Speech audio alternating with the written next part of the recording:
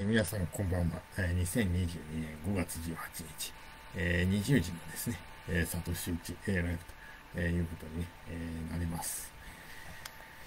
えーあの、今日のテーマはですね、えー非世襲高級官僚、えーそしてね、非労働貴族のね、えー本当、あの、勢力が今こそ必要であると。ね、こういう勢力をガツンと、ね、伸ばしていかんといけんというお話をね、えさせていただきたいというふうに、え思います。まあ、自民党はね、もうね、えー皆さんもご存知の通りね、まあ、世襲高級官僚等々とも、えー言えますよね。うん。まあ、広島県内のね、えー多くのね、え国会議員の方もね、まあ、いわゆる世襲のね、え高級官僚ね、でも世襲かね、高級官僚か、あるいは世襲と高級官僚ね、両方兼ねておられるか、ね、もうそういう方ばっかりですよね。えー基本的には広島県内のね、えー自民党国会議員をね、大体見渡した感じではね、そういうことになりますよね。うん。まあ、まあ、広島だけじゃなくてね、まあ、全国的にね、まあ、世襲とか高級官僚ね、あるいは両方兼ねたようなね、えー方がね、えー多いのは自民党ですね。まあ、これはもうね、えー皆さんもね、よーくね、えーご存知のところですのでね、まあ、今更ね、えー説明をね、えー詳しくはしません。うん、もう、これは分かりきったことで。まあ、いや一方でね、広島の野党第一党。まあもう立憲民主党さんですよね、今で言えば。ね。えーもう他の地域のね、立憲さんと比べてもね、非常に原発をね、推進する労働組合のね、まあいわゆる労働貴族というね、えー人たちのね、えー度合いが高いと。労働貴族度が高いということがね、言えます。ね。えーはっきり言います。ね。もう非正規の問題。ね。えー介護とかね、えー、ケア労働者の問題。ほとんどね、何にもやってくれなかった。悪いけど。ね。えー悪いけど、ほとんどね、やってくれなかったと言ってもね、もう過言ではないと思います。うん。まあ、全国的にもね、そういう傾向あるけどね、特にね、え広島はね、えひどいですよね。うん、はっきり言って。うん。まあ、あのーまあ、ね、えー立憲民主党とね、国民民主党、分裂する前の民主党時代からもこれひどいものがね、ありました。ま、加えて言うとね、例えば DV ね、被害者ね、支援とかね、そういう問題でもね、ほとんどね、えー広島のね、こういう、まあ、旧立憲系、えーそういうところはね、今までやってくれなかったっていうのは事実ですよ。ね。えー俺はね、あの、2011年のね、えー県議選の時に、まあ、川合杏里さんと対決した最初の選挙の時ね、えーあの、ね、えー DV 被害者支援のね、ワンストップセンターをね、えー作るというのをね、えー私、俺男性なんだけどね、えー初めてと言っていいほどね、えー広島で初めてと言っていいほど公約に掲げた。うん。それをね、取り入れたのね、公明党のね、えー女性のね、県議会議員の方です。ね、えーこの方がね、えー翌年の2012年にね、県議会でね、取り上げて、それで実現したわけですよ。ね、えーそういう意味で申しますとね、本当にね、なんていうか、うーん、あのーあの、ダメですね。えー広島のね、野党第一党はね、いけませんね。うん。あのーね、参議院ね、えーまあ、ね自民党以上にね、時としてね、原発推進、そしてね、気候変動対策もね、後ろ向きですよね。うん、もう名前言っちゃいますよ。森本真治参議院議員、うん、ブログ拝見しましたけれどもね、まあ、SNS もね、えーもちろん拝見させていただいておりますけどね、もう時としてね、自民党さえよりもね、原発推進でね、それから、ね、自民党以上にね、気候変動対策にもね、後ろ向きのね、ご投稿をね、えー、時々拝見をね、させていただいております。本当に残念です。うん、でね、参議院のね、えー広島選挙区ね、えー今年ありますよね。えー参議院選広島2022。ね、えーこのままではね、世襲高級官僚のね、自民党現職。まあ名前言っちゃうとね、え宮沢喜一さんとね、そしてね、労働貴族のね、えー影響が大きいね、立憲国民ね、推薦ですよね。のね、立憲国民がね、野合して推薦してるね、タレント新人の方によるね、もう2議席独占になっちゃう。結局、自民党とね、えー自民党とそう変わらないようなね、えーそういう人たちに2議席独占になっちゃう。うん。これまずいですよね、広島にとってね。うん。まあ、広島ね、被爆地ですよ。ね。うん。そういう中でね、原発推進の、ね、議員ばっかりになっちゃってね、いいんですかと。ね。これもね、えー一つの大問題ですね。うん。まあね、広島のね、労働貴族の悪しき典型で、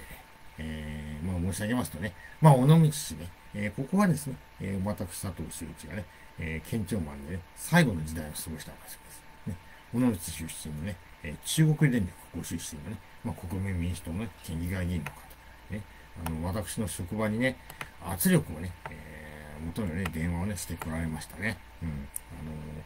結局ね、あの議会のね、先輩がね、経営するね、え介護事業所へのね、え基準を適用に緩めるように、ね、求めるね、趣旨の圧力をね、まあ私の職場ね、私の職場はね、ちょうど介護保険のね、えー、監督をね、させていただいた職場ですからね、え、基準を緩めと。ね、あのー、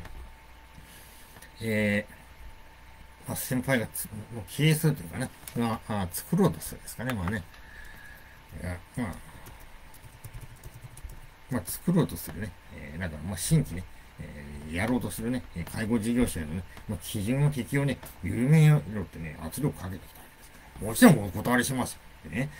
人員基準とか緩めたらね、えー、本当にね、大変なことになりますよね。うん。ね、事故にもつながりかねませんよ。本当ね、命を預かってんだから。ね、お年寄りやね、え障害者の方の命を預かってるのにね、基準適用を緩めたらね、大変なことになりますからね、え当然お断りしました。しかしもうその時にね、いろんなやりとりね、まあ、対応したね、電話に対応したね、同僚とのね、話からもね、本当にもう自民党以上にね、時としてね、この国民民主党っていうのはね、えー、腐ったね、えー、の議員っていうのは腐った議員だなと、えー、感じました。えー、それからね、もう一つ、ね、中国電力でね、市民差別を受けたね、えー、としてね、女性の労働者の方がね、裁判を起こされてるんですよね。うん。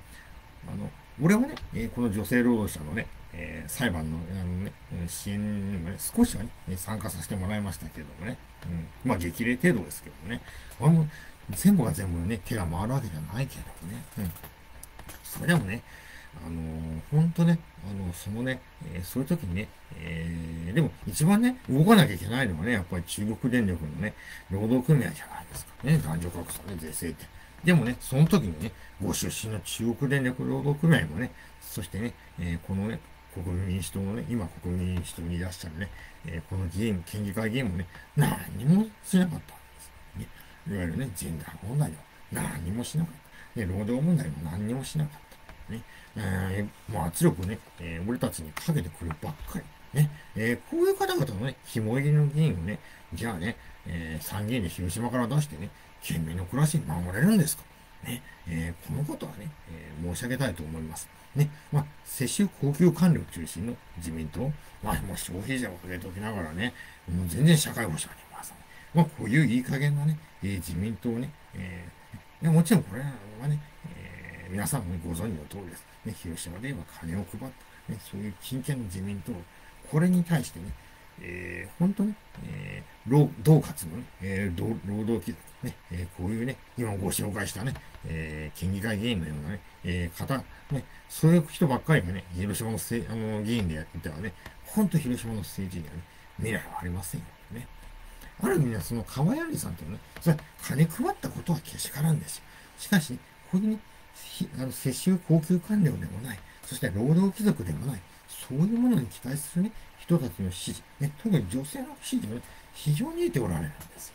ね。えー、だそのことをね、やっぱり、ね、あの、ちゃんとね、分析をしておかなきゃいけない。ね。だからね、川柳さんにね、投票した人も含むね、皆様と共にね、え世襲ね、えねえでもない、世襲困窮官僚でもないね、労働貴族でもない、そういうね、勢力ね、あの、一人一人のね、えー、労働者ね、そして市民、県民のね、え暮らしをね、え立て直していく、そういう視点に立ってくれるね、え議員、でそしてね、またね、え核兵器もね、原発もないね、え世界をね、作っていける議員、そういう人をね、ガツンとね、えー、盛り立てていきたいと思います。ね、あの比例代表区ではね、えー、佐藤、私はね、もちろん令和をね、えー、支持して、所属政党をやっていくのはもちろんです。ね、非正式高級官僚、そしてね、えー、労働貴族でもない、こういう勢力の一番手です。もちろんね、共産党ね、社民党もね、えー、頑張ってほしいですね。うん。そしてね、広島県選挙区ではね、えー、私、佐藤修一とね、えー、ね、共産党新人の中村隆也さん、えー、でもね、まあ、あの、でもね、まあ、非世襲ね、世襲高級官僚でもない、そして労働貴族ね、あるいはそのね、息がかかってるわけでもない、そういうね、この二人によるね、二議席独占をね、目指してまいります。しかしね、やっぱり、ね、状況というものがあるわけです。やっぱり、一本化も含めて、ね、石にかじりついてもでもね、やっぱり、世襲高級官僚でもない、そして労働貴族でもない、えー、そういう人でね、一議席は必ず取ると。ねえー、そういう構造に、えー、していくね、所存でね、えー、ございます。えー、あのね、えー、またね、えー、5月ね、21日ね、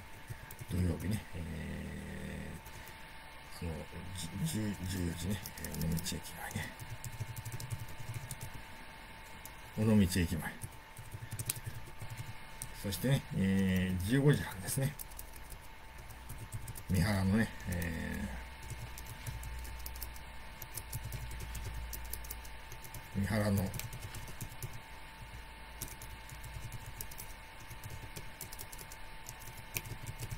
お会いしましょう。ね。あの、そこでね、また、あの、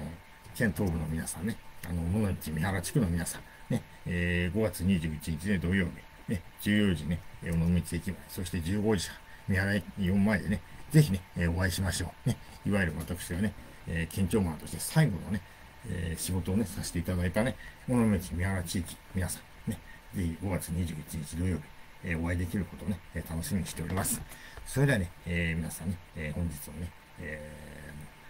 ライブにねお、お付き合いいただきましてね、えー、誠にありがとうね、えー、ございました。えー、それではね、あのー、一緒にね、あのー、本当に、あの、世襲高級官僚でもない、そして労働貴族でもない、そういう議員をね、医師にかじりついてもね、広島からね、一緒に出していきましょう。それではね、失礼いたします。